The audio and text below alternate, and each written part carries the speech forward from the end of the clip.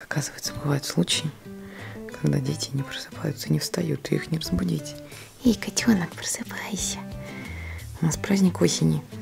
В садик пора. Давай, вставай, вставай, котенок. Давай просыпайся. И что мне делать? Я тут уже подготовила праздничный наряд.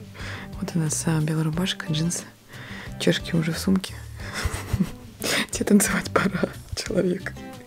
Чешки в сумке, котенок. Просыпайся, любимый, ну давай. Ну просыпайся. Рэм. Просыпайся. Ку-ку. Ку-куть. Ну, в общем, вот так вот у нас тут. Котенок, ты проснешься у меня или нет? Эй. Подруги, как детей вы будете, а? Научите меня, я еще неопытная матушка. Меня обычно они меня будут и не дают мне спать. Вот теперь я буду тебе мстить за каждое утро, которое ты приходил и говорил, мама, мама, и так по щечке мне делал. Вот так вот по щечке мне делал и будил меня. Не давал маме спать. Вот теперь я буду тебя будить. Привет! Скажи подружке привет! С самого утра уже скажи ты своими подругами, блин. Да? Эй, привет, доброе утро, котенок. Сегодня у нас праздник осени. Не спрашивай, что это значит, я не знаю. Ладно, давай одеваться.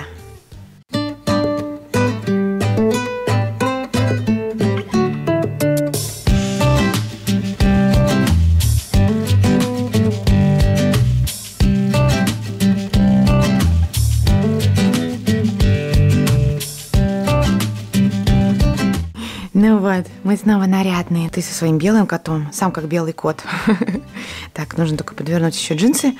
И все, переоденем носочки белые а, в садике и наденем еще чешки, да? Может, скажешь подружке привет? Так, давай двигай, двигай, двигай, двигай. Нам тут еще с грантиком нужно залезть. Так, первый этаж. Ну все, собрались. Это успех. Кстати, собирала детей одна. Просто потому что Арсик уехал а, в Москву, и мы с детьми целую неделю одни. Еще в лифтах это просто капец. Люди у нас вообще маски не носят. И прям в маленькие лифты забиваются. Вот только что мужчина двухметровый. Говорит, залезем? Я говорю, извините, не залезем. И вот прям, вот сказала бы залезем, он бы вот сюда залез. Тут вот места тут нету больше. Короны, короче, не существует, да, котенок? Ну ладно. Значит, да, мы целую неделю до воскресенья будем одни. Сегодня понедельник. Ну ничего, будете наблюдать, как мы тут справляемся втроем, да? Но мы договорились, все у нас будет хорошо. И мы уже как бы это будем сотрудничать. Да, котенок? Эй, Ремик. Все, погнали. На улице просто капец. Темень, и еще какой-то дождь непонятный. Так, Ремик, нам сюда. Иди сюда с мамой. Пойдем, пойдем сюда. Слава богу, что нам идти. Всего до ничего, до сада. И мы быстренько добежим. Подружки, я сейчас не буду снимать, как я его сдаю. Просто потому что мне нужно его переодеть в эти чешки, и нужно его сдать после выходных. Все-таки как-то, ну, это дело такое, знаете. Вот, буду докладывать э, уже позже, как у нас все пройдет. Ну все, котенок в саду расплакался. Ой, расплакался, прям вообще вцепился в маму. Но шел, плакал и шел в своих чешках белых. Ничего не сфоткала, ни, конечно, не отсняла. На улице прям дождь, поэтому мы с Грантом быстро бежим домой. А, надо добраться мне до телефона, потому что я еще и телефон дома оставила. Так что буду э, смотреть. И мне сказали, что ничего страшного. Он так вот по утрам поплачет, поплачет и успокоится быстро, все у него хорошо. Так что будем надеяться, что сегодня, эти фокусируйся, все у нас будет хорошо. А мне многие спрашивают, как я все успеваю. И откуда у меня время, энтузиазм и энергия с двумя малышами, еще видео снимать, монтировать и прочее. Ну, в общем, так выглядят э, мои рабочие минутки. Во-первых, я их ловлю. Вот прям как только возможно, я их ловлю. Вот сейчас я покормила Гранта. Он тут э, плюс-минус довольный, отваливается сейчас у меня на коленках. Вот я его держу. А сама сижу и вот монтирую э, видеоролики и делаю э, материал для YouTube-канала. Ну и вот сколько он мне позволит, столько я и работаю. Если закончу, то закончу и буду счастливая очень. Если не закончу, да, тогда просто все это откладываю дело и вот до, луч, до лучших времен.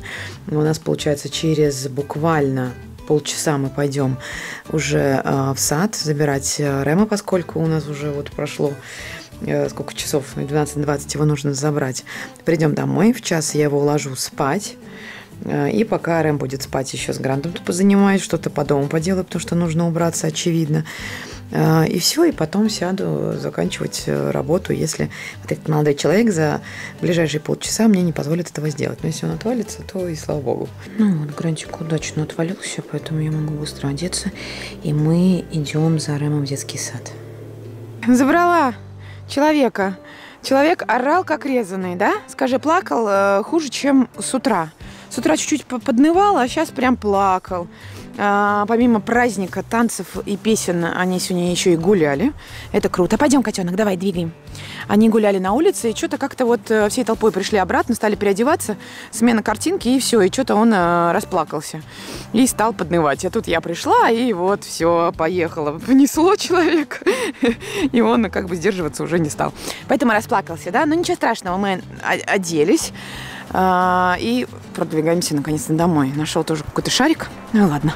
Слава богу, шарик и шарик. Я уже не буду отбирать и не буду разбираться, что за шарик. Неужели ты не бежишь? Ты идешь спокойно, и все хорошо у тебя. Мне кажется, ты реально подустал. Небывалый случай, должна вам признаться. Мы с Рэмом будем быстренько есть. А, я сейчас погрею суп, мы поедим. Я отправлю его на дневной сон. И к тому времени, я думаю, что Грант уже проснется, ну и будет требовать э, еды. Так что я тут жонглирую. Будь здоров. Супер ноздри. Что-то пошло не так, схема рухнула. Слабое звено. Печенюшка.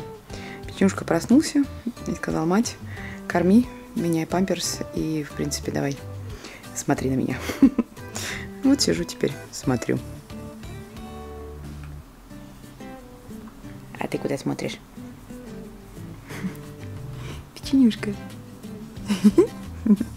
Еще хорошая новость, пока я тут пыталась устроиться, его уложить рядышком тут к себе на коленке. Дернула, блин, одеяло и разлила целую кружку кофе на диван. Теперь диван просто кофейный. Это такая подстава. Сейчас мне надо вызывать каких-то там этих, кто чистит диваны. Кто знает хорошую химчистку диванов в Санкт-Петербурге, баба, подскажите. Мне надо почистить диван, иначе я живу как в кружке кофе. Ну, что-то не очень быть кофеваркой. Но еще я мисс организация. А, Гранту уже 6 недель, вот сегодня, на момент записи. Этому человеку 6 недель. И я договорилась с фотографом, что 6, что это получается, ноября. То есть это, по-моему, через полторы недели минимум. У нас будет малышковая фотосессия, которую, в принципе, нужно делать до месяца. Ребенку, когда стукнет. А нам уже стукнуло чуть больше. Ну, в общем, подруги, если надо вам что-нибудь организовать, обращайтесь. Я все вовремя сделаю. Мы проснулись. Причем все проснулись. Грантик проснулся, Рэм проснулся. Где ты? Ку-ку. Труселек, привет. Привет. Короче, у нас в связи с нашими зубами сопли просто ручьем. Завтра, думаю, оставлю его дома, в садик не поведу, просто чтобы вот на фоне наших прекрасных зубов вся эта сопливая история не стала хуже. Э, потому что что-то как-то, ну вот, не очень. И хочется его поберечь, чтобы было меньше стресса, ну и, соответственно, будем тусоваться дома, да, котенок? Ну это так, чтобы маме было веселей э, в ту неделю, когда папа уехал в Москву. Э, зубы смотрятся, кстати говоря, очень круто. Прям два маляра таких добротных лезут. Да? Углы прорезались, и все очень круто. Но, слава богу, что ночью он спит нормально, не плачет, и все вроде бы спокойно. Этот маленький товарищ, блин, дает мне жару на самом деле. Я тут все, э, конечно же, хвалюсь, что он прекрасный малыш и идеальный новорожденный, что на самом деле и правда, действительно, оно так и есть. Но каждый день э, с тем, как он развивается и со временем, я вижу, что у него начинают уже появляться какие-то паттерны его в бодрствовании и во сне, и что касается ночей, А, он на самом деле просыпается в целом-то один раз, но уйти на сон ему так тяжело. Просто настолько тяжело, что это какой-то копический капец. То есть я с ним добрые полтора часа э, каждый раз вожусь, чтобы его уложить спать, потому что у него там живот, у него газики, у него э, пуки, у него вот всякие разные истории, отрыжки, и он уже начинает бодрствовать. То есть он от всех своих вот этих процессов пищеварения просыпается и такой, ну, как бы, мамаш, будем полтора часа сейчас тусоваться и сидеть, и будем развлекаться. Собственно, ну, в общем-то, этим мы и занимаемся, да, котенок? Ну, ладно, будем смотреть, э, как пойдет дальше. Пока, конечно, жаловаться рано и переживать тоже рано. В целом-то все у нас отлично. И мы тут уживаемся здорово, да? Нам с тобой бы нос почистить. Подруженцы меня все спрашивают, как я лечу детей во время простуды, ну и, собственно, в принципе, когда сопли текут. Часто лечить нечего, а сопли текут. Ничего, промывая аквалором, э, если нужно э, нос хорошенечко очистить, используя нос Фриду. Сейчас покажу, кто не видел нос Фриду, которую я вместе со всеми остальными штуками показывала тоже 250 миллионов раз. Вот такая вот магическая штука. Сейчас она у меня помыта, это водичка. Суть нос Фриды, конечно же, очень проста. Красную штучку мама засовывает в рот, и э, наконечник голубой э, помещает в носик ребенка и отсасывает сопельки. Здесь посередине есть фильтр, который не позволяет всей красоте э, попадать э, к маме. Но в целом вот выше вот этого места эти сопли даже вот у большого ребенка, как Рэм, они не поднимаются. Ну и как бы в целом, если даже до вот этого места сопля поднимается, я просто эту носфриду продуваю в салфетку, и э, она чистая, да? И мы можем продолжать нос чистить. Давай почистим нос. Он у тебя течет. Давай покажем подружкам прелести.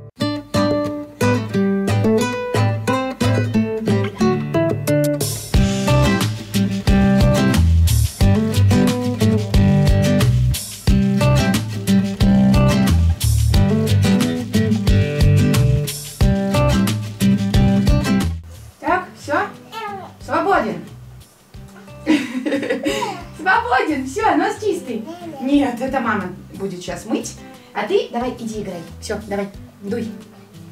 Так, ну а у Грантика у нас тут игры на животе. Ну, играми это, конечно же, пока сложно назвать. Просто я выкладываю его на животик, чтобы он укреплял э, мышцы шеи. Ну и, в общем, чтобы и животику в связи со всеми пищеварительными историями был, было легче. Сейчас возьмем вот это зеркальце, снимем пленку и попробуем ему показать отражение. Э, штука весьма забавная. Ну, да ладно.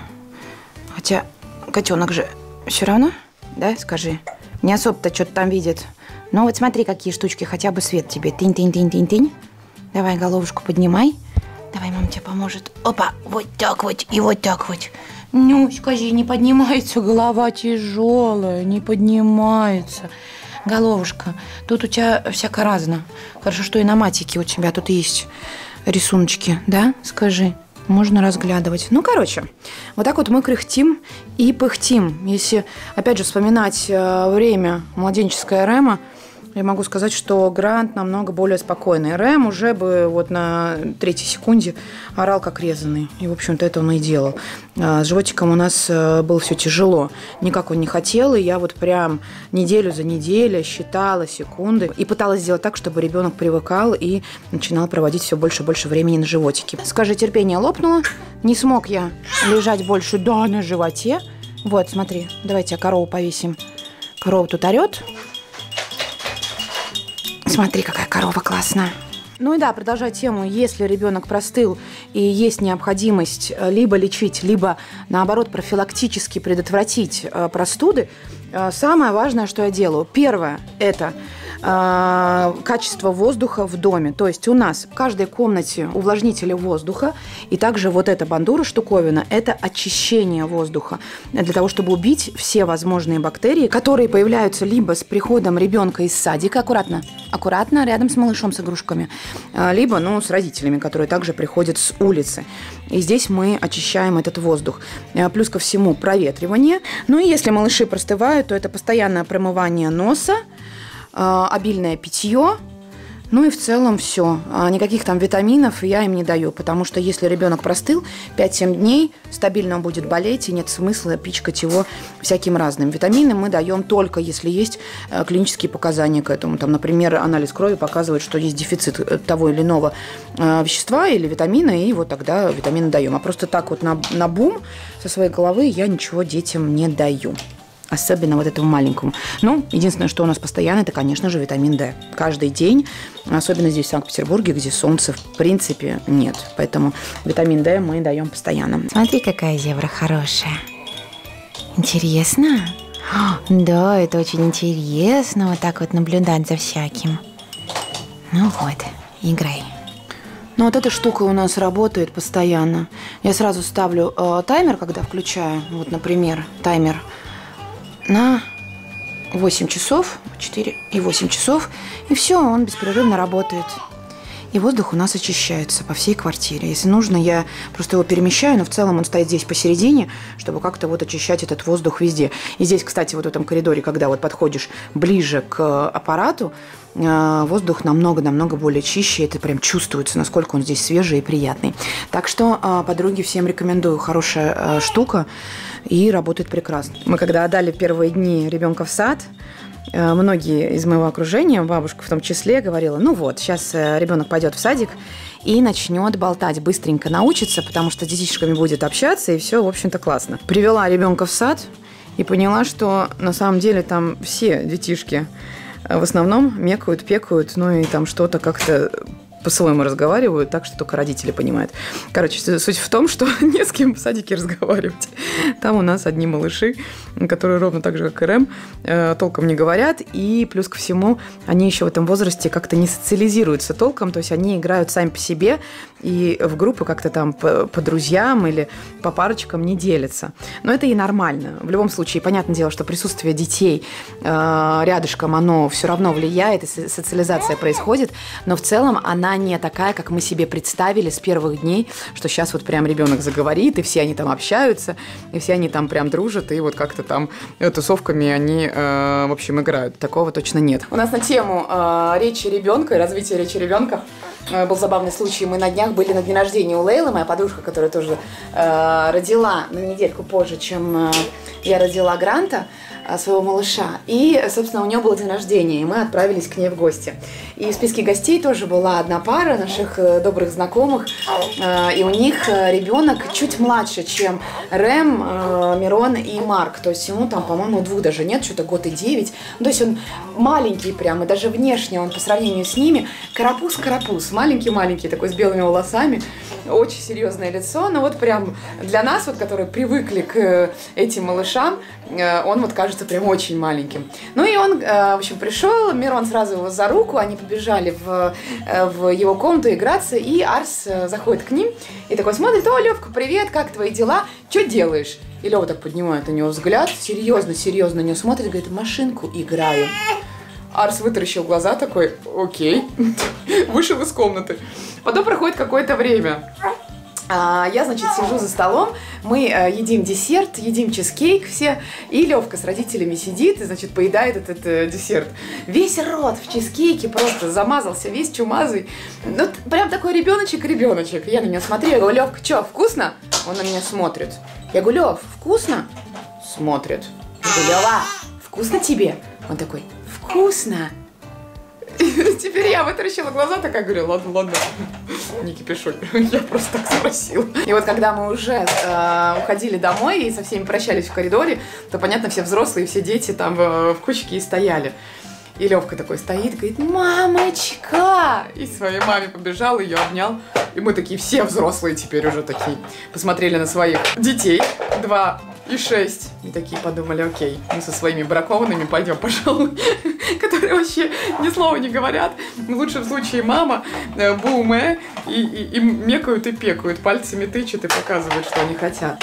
Как-то мы э, поняли, что, ну да, наверное, все сильно индивидуально, и есть такие вундеркинды, которые уже там до двух говорят, особенно девочки, но в целом э, как-то складывается такое впечатление, вот я смотрю на своего, на детей подруг, на группы в садиках, и в моем садике, и в садиках моих подружек, И я понимаю, что это какая-то такая массовая история, что в большинстве случаев дети, ну, в два, два с половиной, да еще вообще не говорят. Ну, то есть они толком не произносят слова уже, не говоря о том, чтобы какие-то предложения составлять. И есть какое-то подозрение, что это все-таки данность, наверное, нашего времени, когда у нас очень много интернета, много мультиков, много в принципе, гаджетов, много игрушек, а, много всего того, что на самом деле не позволяет ребенку быстренько-быстренько развиваться. И как э, Лейла сказала, ну а что в советское время? Мамам нашим-то делать было нечего, вот они и разговаривали в нон-стопе. То ли сами с собой, то ли с ребенком, то ли с подружками трендели. А в наше время что? Ничего, молчим мы все. Э, как-то уперлись мы все в дела, в гаджеты, в какие-то штуки. У детей миллиард игрушек, и по итогу э, оно, мне кажется, как-то желая им дать то, чего у нас не было в детстве, мы как-то препятствуем сами э, тому, чтобы дети развивались. Ну или, в принципе, не знаю, э, может быть, нельзя это так ставить, что мы прям препятствуем, просто вот данность времени, вот как есть, так есть. Вот такое у нас сейчас время, и в толком ты ничего и не сделаешь. Да, скажи, ничего не сделаешь, бублик мой. Ладно, пойдем мы с тобой хоть поедим, да? Ладно, подружки, мы пошли есть. Крик-хтун, иди к маме. Ой, ты бойся, давай сделаем сэндвич. У нас бургер. Да, у нас такой бутербродик. Вот, вот он наш бутербродик. Ой, ты бойся, бутерброд. Давай, слезай. Так, мы наконец-то привели в порядок какой-то условный кроватку Рема. Смотрите, я что сделала? Я от наших бортиков отрезала э, наши завязочки, которые он постоянно срывает, просто потому что бесится по этой кровати как э, сумасшедший. И э, просто продела змейкой сквозь рейки наши бортики таким образом, что э, все бортики вот на всю кровать, они встали вот по трем стенкам, а передняя стенка осталась пустой. Я думаю, что нам там бортик не особо-то и нужен. Ну и плюс ко всему все игрушки. Вот эти все зайцы и коты, слоны, жирафы и прочие, они непременно должны находиться в кровати. Вот у Рема сейчас требование такое. Поэтому они тут вот прекрасно сидят на лавочке и ждут Рема, когда у него начнется сон. Ну, я думаю, минут через э, этаки три с половиной все это превратится просто в бардак адический, потому что ребенок обязательно в какой-то момент решит, что тут э, что-то не то, и надо навести свой порядок. Но пока мама стоит и радуется. Я вот прям довольна. Кто меня всегда спрашивает и очень часто спрашивает, что у нас за бортики, это бортики э, компании Loom Knits. Пишется L-O-O-M. В Инстаграме они есть, сайт у них есть. У них потрясающие бортики, потрясающая одежда, очень классные, качественные вещи они делают. И сильно-сильно рекомендую. Мне они прямо очень-очень нравятся. Несмотря на то, что ребенок пытается их уничтожить, понятное дело. Но, короче, я все равно их очень люблю. Они какие-то вот такие прям уютные и очень-очень клевые. Так что Knits. Запоминайте, записывайте и идите на Инстаграм их или сайт, или куда, посмотрите, что у них там есть. Они сейчас и одежду какую-то там запустили для малышей. Тоже вроде ничего. Так, а ты что делаешь? Ой ты, прям у тебя тут гимнастика какая-то. Да? Труселек, штанцы одеть не желаешь? Нет? Ну, окей. Алло? Что тут происходит? Ну, в общем, чего и следовало ждать. Что делаешь? Что делаешь? Что делаешь?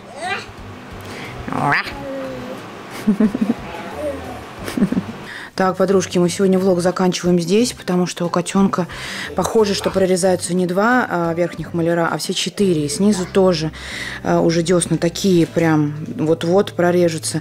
И поэтому он очень капризный, плаксивый. А, и такой вот прям очень-очень-очень тяжело ему. И видно, что больно. Намазала ему десна кремом. Дентиналем мы пользуемся, или дентиналь. Короче, итальянский гель для малышей, у которых прорезаются зубки. Ну и думаю, что в связи с этим завтра мы в садик тоже не пойдем, а будем оставаться дома, потому что ну, в таком состоянии как-то ребенка отпускать в садик ну, совсем не очень. Э, он на ручки просится, каждые три секунды плачет, ну и короче. Сами понимаете, детское состояние, когда у них прирезаются зубы. Так что все, на сегодня с вами прощаюсь. Желаю доброго дня и отправляюсь к малышам своим.